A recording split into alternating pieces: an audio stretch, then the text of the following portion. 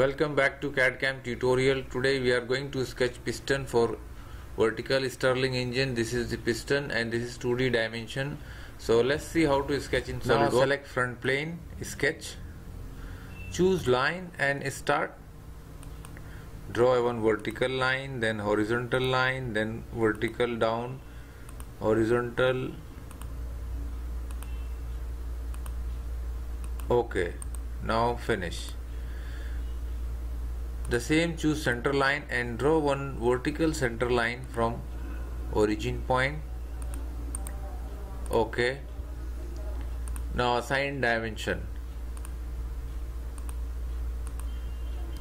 Keep 2 mm. Now distance from here to this line. Select 9.75 mm. And distance from this line 9.25 mm. Okay.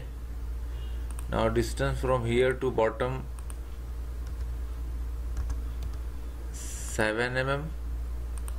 And from this line to bottom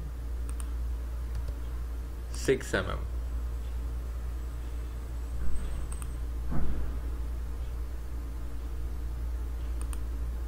Select 3 mm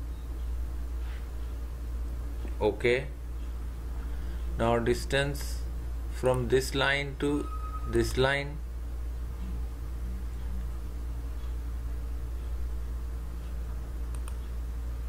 Keep 6 mm okay.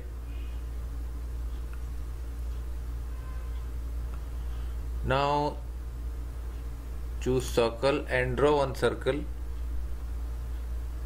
from the center point. Okay. Select diameter assign radius 3 mm. Okay. Now choose trim and trim this outside and this inside. Okay. Now our geometry is almost ready. Now go to feature select revolve boss. Click ok. Now this is our piston is ready. We will assign material. Just go to appearance. Metal steel and assign brush finished